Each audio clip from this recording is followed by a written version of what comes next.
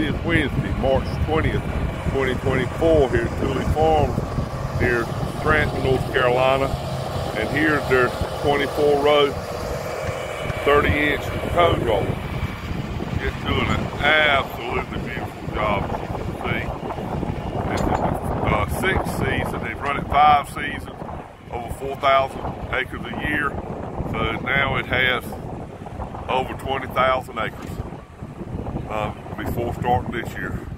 It's really been a great rig.